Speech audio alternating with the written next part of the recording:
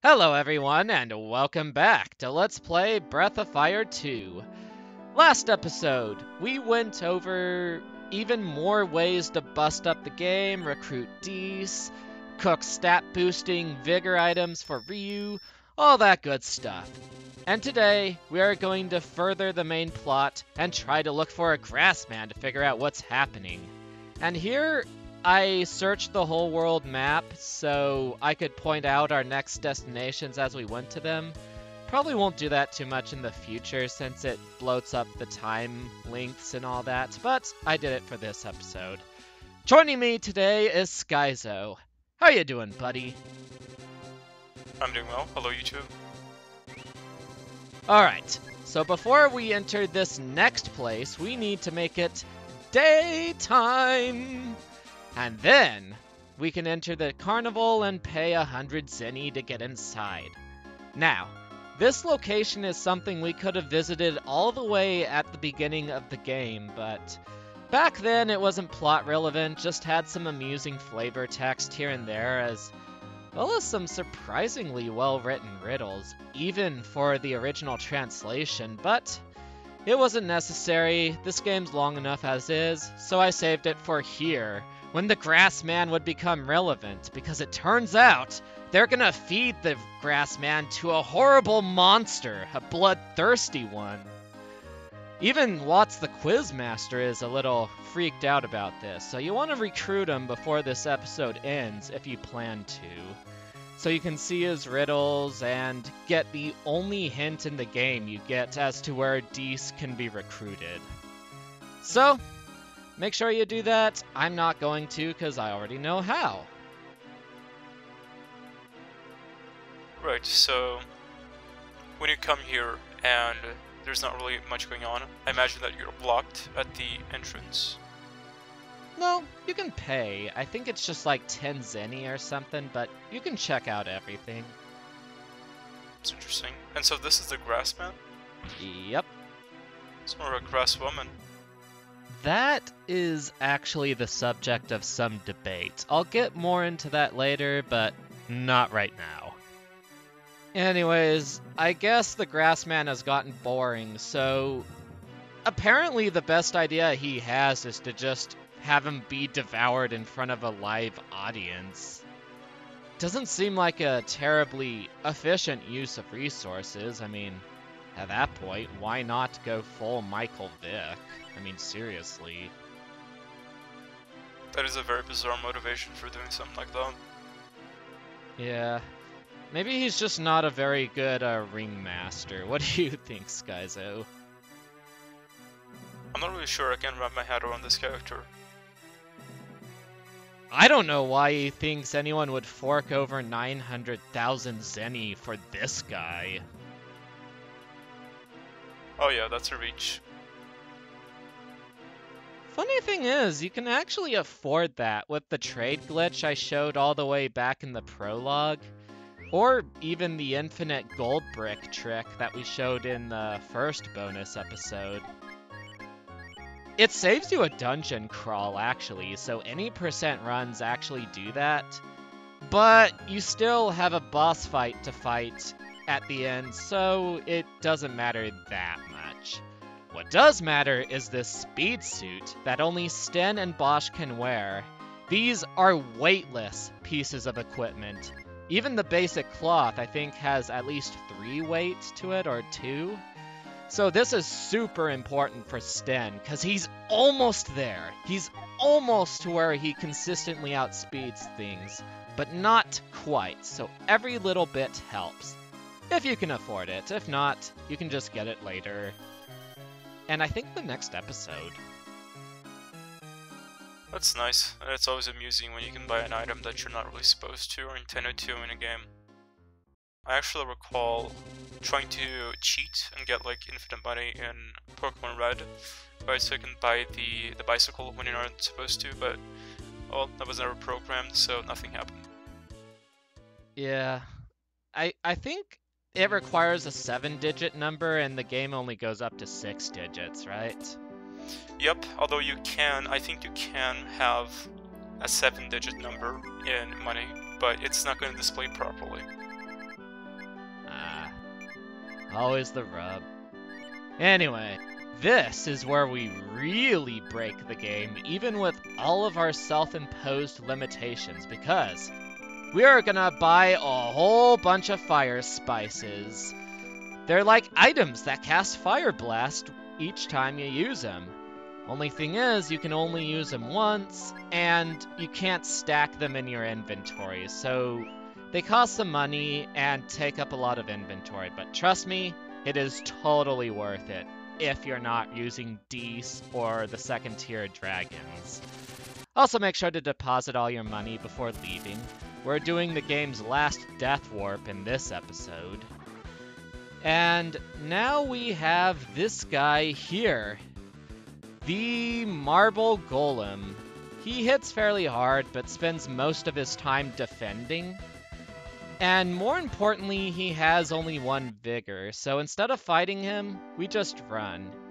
And even if he somehow kills someone, it doesn't matter, you can just revive him easily at an inn or when you go to township, so no big deal. It's convenient. Yeah. And let's see what we cook. Oh yes, we're gonna cook ourselves one, two gold bricks. Just two though. We can't buy turbocharges like we could if we recruited Hans, so we're gonna avoid the worst abuses of this trick here, because the turbocharges were the only easily available stat boosters we had. Technically, you could keep cooking gold bricks, but it requires going back and forth between goons and cooking battle items. It's like a three-step process that can fail at each point, so it's just a pain in the neck. What isn't a pain, though, is cooking some biscuits or hardtacks with these thunder rods. These hardtacks, do you remember I was telling you about them, Skyzo? I don't think so, although yeah, there was like a, a, small cutout when you were talking about the fire spices, so I may have missed it. No, no, I didn't. Don't worry. Anyways, the biscuits or hardtacks completely heals all characters as it says in the description, but it also grants you a small 1.2 times multiplier to your defense as you're doing it. By the way, visiting that well was important for a plot trigger, more on that later. For now, since I turned Sten into a red monkey, I want to talk about the downsides of fusion, since I haven't covered that before, and... And by the way, we got a fast food from that closet, use that on Sten, again, borderline. But yeah, as good as it is, you can lose it very, very easily. You can lose it whenever you drop below 30% HP, and you don't get it back until you go back to Township and redo the fusion. But the other thing is that for some weird reason, there are certain cutscenes that automatically deactivate them. So we don't actually get much of a chance to use it. It's a little strange. I mean, they, they could just have it so that when you fall below 30% HP, it deactivates, but you don't have to redo the whole thing every time. And the thing of it is, Breath of Fire 1 actually got around that by having you just being able to redo it outside of battle. So, first of all, we have two Sirens. Pretty vanilla enemies, not so bad. Only thing is, they have Dream Breath, so they can troll you a little bit, and they have Cyclone, fairly weak, but it doesn't wake you up, so they can be a little annoying, but they're not actually too hard. Just hit them over the head with melee attacks, job is done. Seems pretty straightforward. Yeah. Annoying, but straightforward. No jolt to contend with, anyway. And as for Sten, I think if you're playing the Game Boy Advance version, this is the point where he just outspeeds all the relevant enemies outright, since he has the extra levels and all that. Not here, though. By the way, make sure to get that quarterstaff. It's gonna be Lean's last upgrade for a pretty long while. This is about the point where physical attacks start going by the wayside and Lean becomes more useful for speed than anything. And Sten uses mostly magic. For example, Sten has Fire Blast right now, but instead we shall use a Fire Spice! Oh, yeah. Wow, that's insanely strong. I imagine we, we're gonna use that with bosses, right? Oh, yes. Now, most of the enemies here, except for the Siren and the boss at the end, are weak to fire, which is why it was so strong. And actually, a lot of the enemies in this game are weak to fire, so essentially, Katt sort of becomes like Nina, except fast instead of slow, and between her and Sten, they can trivialize a lot of encounters before they get to move. Like I said, this is about where the game really starts getting easier. Not that it's like a joke or anything like that, it's just, compared to say the very start, there's a clear difference. It's nice. Although, it's a little sad that the game isn't better balanced, I suppose. Hmm, it is. Also, Sten, 68 Vigor, I think that's about two points away from where he needs to be to always outspeed things, which is good because we have the most dangerous encounter here, the three Fallen Elves. They have a chance of going before Sten if you get bad speed rolls, and they almost die to one Fire Spice or Fire Blast, but not quite. Not consistently, anyway. So since I don't like wasting them, I tend to have Lean use Attack while Sten uses Fire Blast, and he well casted that one, so he crit and killed them all anyway, but normally two or one of them would have survived and gotten a chance to do some physical attacks. Two of them usually won't kill anyone, but three of them on the same target, they just might. So it's good to have Fire Blast and Fire Spices for that. Or just bring Deis along, that works too. It's very convenient that most of the enemies here are weak to fire, right? Oh yeah. And, uh, I mean, I wonder just like, I don't know, why that is. Why most enemies are weak to it. Well, I think there's a lot of creature types in like D&D where fire type just ends up being the way to go. Some of them use ice, some aquatic enemies you can argue are weak to fire. There's zombies, there's undead things, even steel types in Pokemon. Whereas ice in comparison, it's just like use it on fire guys and what else would be weak to ice? That's true. It's just one of those things that, I mean, really, what's going to resist it besides, like, a magma uh, golem or something? Exactly. Anyway, this guy is a weird one. This is a guy that attacks via nothing but counters. If you just defend, he will never lay a finger on you. Ever. Possibly because it's just an innocent creature trying to go about its business. It also never crits on counterattacks, which is the case for everyone, actually, so this actually makes him a very convenient target for another Death Warp, and the very last one well, not the very last one, there's one in the end game, but the last one you're gonna see for a while. So, it's weak to Thunder, so I could almost kill it with a Thunder Whelp, and it wouldn't even counter since you can't counter magic. But instead, we're gonna use it to soften us up a bit, make life easier. At least in the short term. And yeah, see how Sten lost his fusion there? The stat bonus has just gone away. I see that.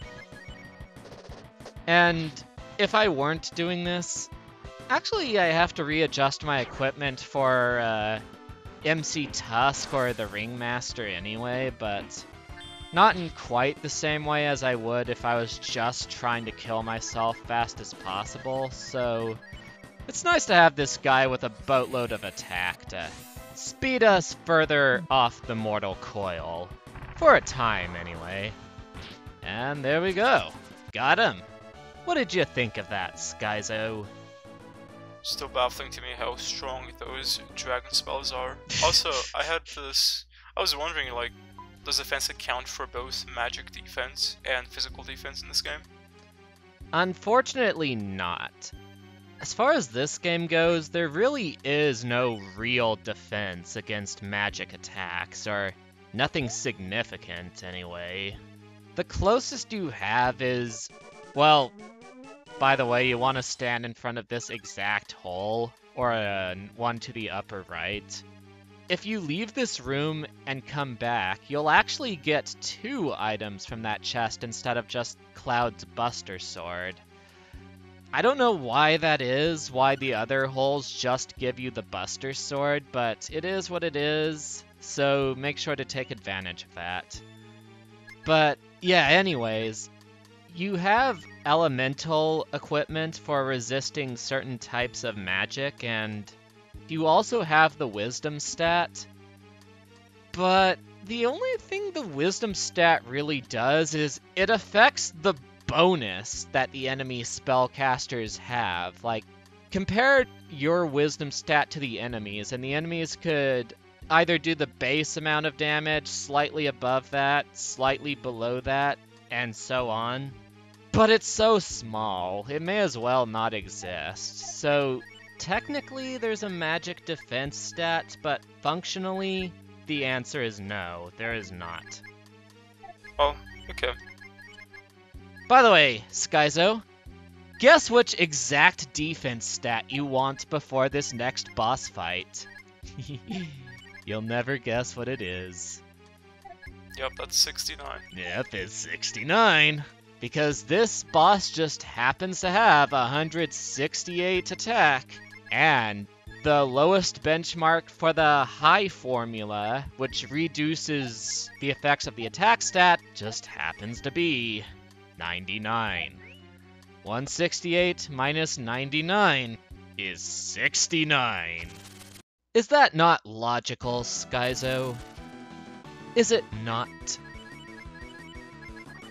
That's nice. Convenient for us, for sure.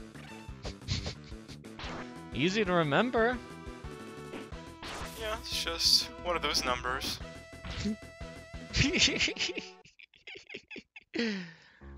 Alrighty then.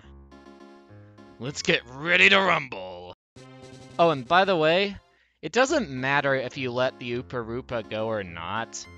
You just have to meet it, beat it up, then it begs for mercy, and then you can just come back empty-handed and tell the ringmaster to go stuff it.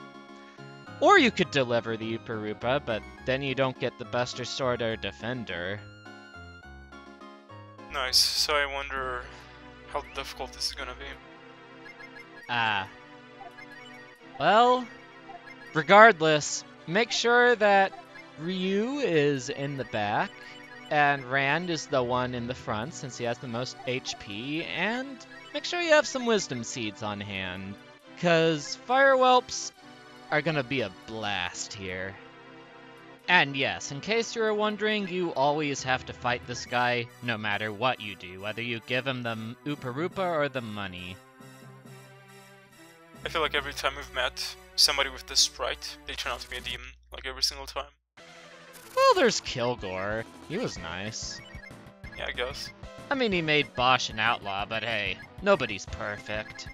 Anyways, this is going to be a very short battle. Just uh, spam Fire Spices, Fire Blast, and Flame Whelp.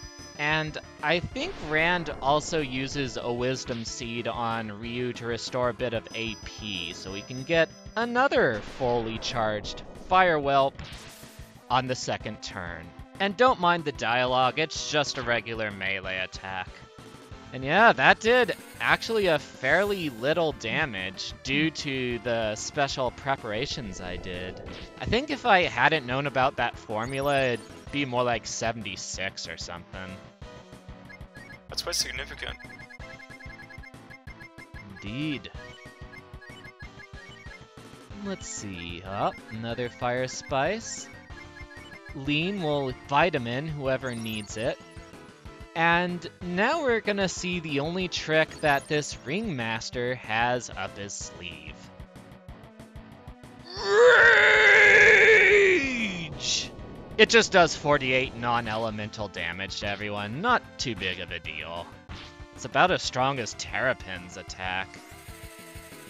Oh, so it just does fixed damage. Yeah, That's not too bad at all. Yeah, so basically just keep your health up and spam fire attacks for two turns. He won't quite be dead, but he's outsped by Sten and Lean, so this fight is in the bag. It's very easy. Yeah, it sort of is. I know that kind of goes counter to my theory that I espoused in the whale episode, but eh. Uh, trends are trends. They're not an exact science. That's true. Yeah. Also, I made sure to have Stan in the second slot because this is one of my favorite lines.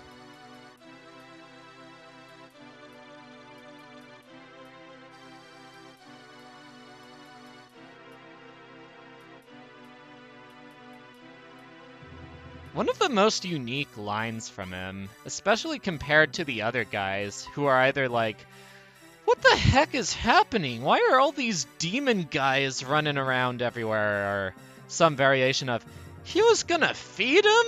Ugh, who would do that? I feel like, yeah, I feel like that would be the most common reaction as well, and you wouldn't see a, a whole lot of self-reflection like that. Indeed. Like, it kind of points to uh, Sten's past. Oh, by the way, the Grassman just got out. There was a trick door on the back that the Ringmaster somehow didn't know about. So that's nice. Or not, depending on how you look at it. So you could have just not gotten in there in the first place. Yeah. No one said the Ringmaster was very competent. That's true.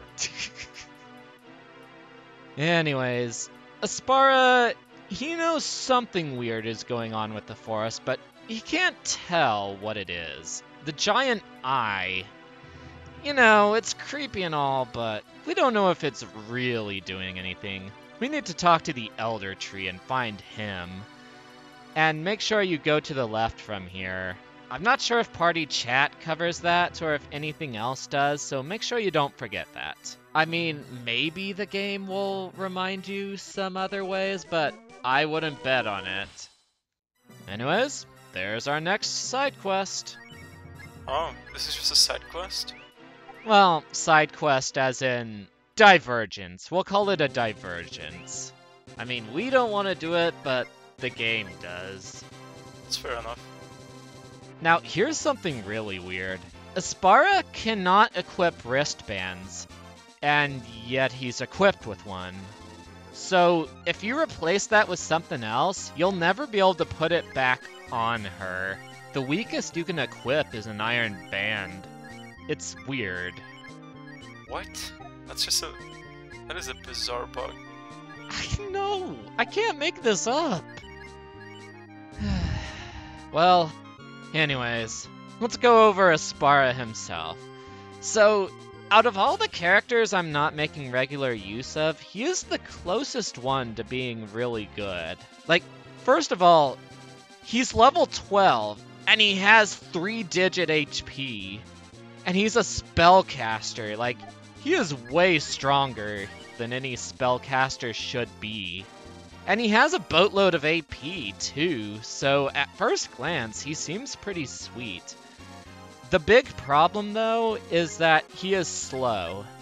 And unlike Nina, he has very little in the way of attack magic. He just has Frost, which does 40 damage to a single target, and that is it. Unless you recruit a certain tenant who's much later in the game, but that's not worth it. He replaces someone else useful too. So, Aspara mainly relies on debuffs like Blunt, Slow, Weaken, Silence, etc., which are inconsistent at best, because one, you can't look up what an enemy's magic resistance is, and two, a lot of them sort of resist magic anyway, so if you bring him along, he sort of ends up being this wet noodle who can heal you up, but doesn't really do much of anything. But the big thing about him is he gets warp and exit at levels 18 and 19. So we do want to get him up at some point at a grinding spot, if y'all know what I mean. And then we'll have exit and warp on one character, which means we can fast travel finally at long last and exit dungeons. Um, the Uparupa Cave, for some reason, exit is disabled there, so even Nina or Deis couldn't have helped us out there. So, you want to level him up at some point. He can do some stuff occasionally, but for the most part, he's going to be spending time on the bench. Actually, I think it's a she. I say that because, well, I don't know if what the Japanese says. I know the fan translation always uses him, his, he, all that. But I don't know if that's just because he didn't want to refer to him as it or they or whatever. And first of all, as Skyzo mentioned, he has kind of a feminine appearance, even has sort of a grass skirt, she. But the big thing is that he has a fusion transformation if you join him with Seso the Water Shaman, and he actually turns into this little mushroom girl with pink hair and everything like that. Even the official art seems somewhat flirty, I guess? Maybe just confident? I don't know. I mean, it, it seems like he or she leans more heavily towards she, but he's she's a plant, so probably the technical answer is non-binary, but I'll ask Ryusui about it on Twitter and in any case, this is Fionordequesters signing out. Have a nice day, everyone, and God bless you. Alright, so see you later, YouTube. Bye!